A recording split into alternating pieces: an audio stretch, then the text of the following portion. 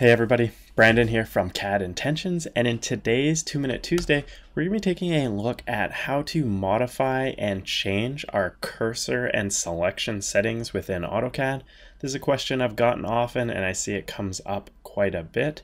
Uh, so we're going to go over a handful of the options available to customize your cursor, whether it's the size, kind of the look and style of it, and how it's going to react and interact with snapping objects as well as uh, vertexes of lines and polylines.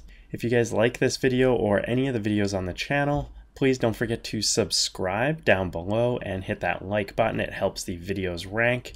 As well, it keeps me motivated to continue producing new video and content for everybody here. Uh, I hope you guys like this week's video. Let's jump right in.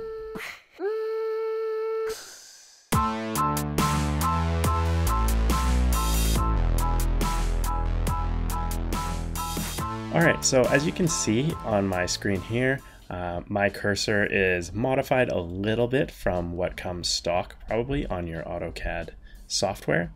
Uh, and today we're going to take a look at a few of the main options for customizing and tweaking your cursor to kind of fit your drafting style and what you'd like to see.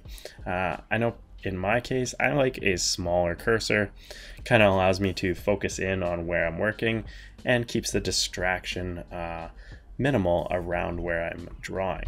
But I know many of you would like larger cursor settings uh, or to change the kind of look of the box that it has, uh, as well as some of the other settings. So we're going to look at that today. To start, you're going to want to type in options, or you can right click and choose options from the bottom of your menu.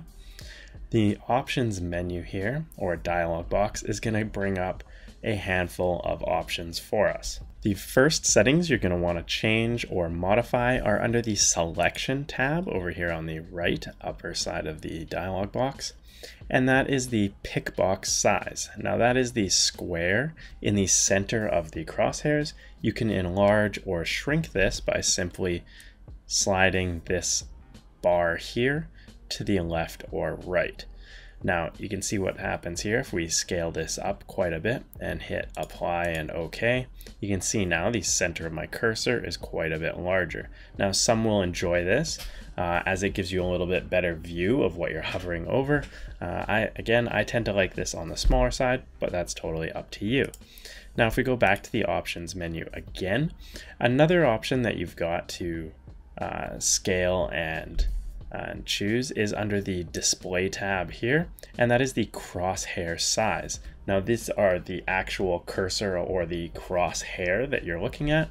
And again, you can scale this up by dragging the bar to the right here and hitting apply and okay.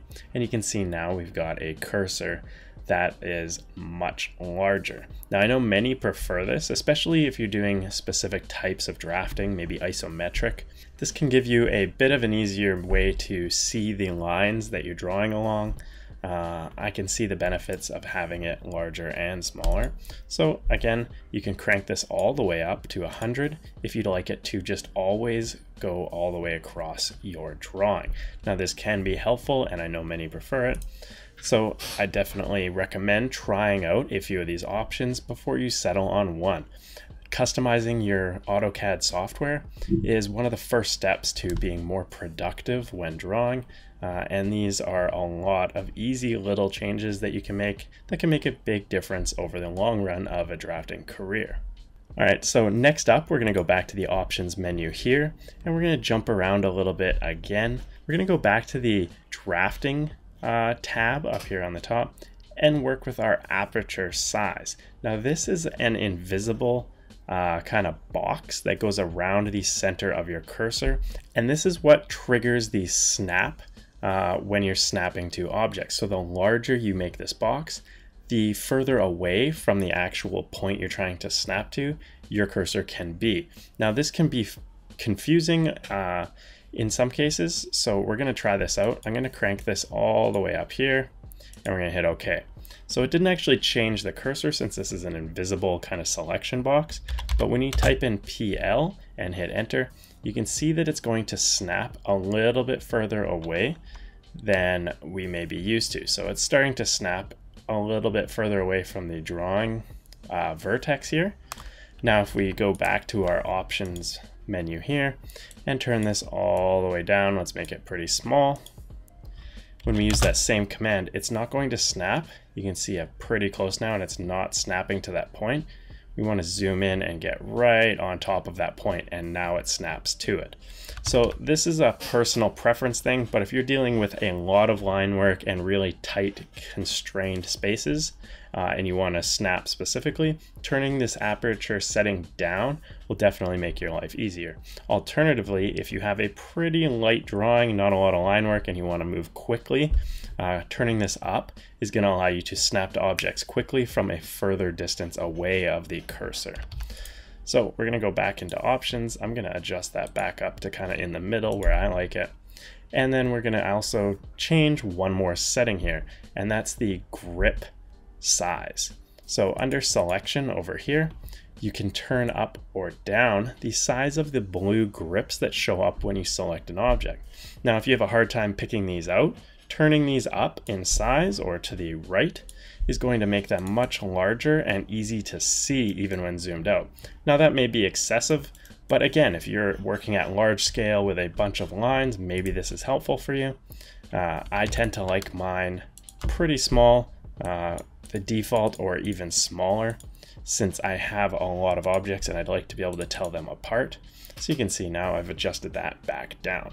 Now, lastly, I want to show you guys how you can modify that color of your uh, crosshairs, and that's going to be under the display tab here and colors.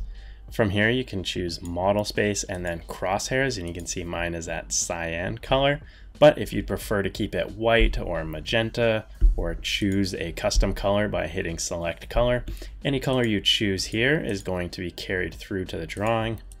So if we just kind of pick a random color here, a bright green, apply, close, and hit OK. You can see now our cursor is green and the settings that we've just set are in effect. Now these settings are going to stick with your AutoCAD. They're tied to your profile. Uh, so you can close the drawing, open a new drawing, and your settings are going to continue showing up. Uh, I hope you guys enjoyed this video. That's all for today. If you did like it and you want to learn more about AutoCAD, uh, I've got an AutoCAD Fundamentals and Workflows course that's available for instant download now. You can get that by hitting the link up above right now or down in the description. It's discounted for viewers and subscribers like you by using those links. That's all for today. Thanks again for watching and don't forget to subscribe. See ya. Cheers. Thanks for watching the video. Hope you guys enjoyed it. Uh, be sure to check out my last video right here uh, and don't forget to subscribe up here to make sure you're up to date and you see all my new videos. Thanks again. Cheers.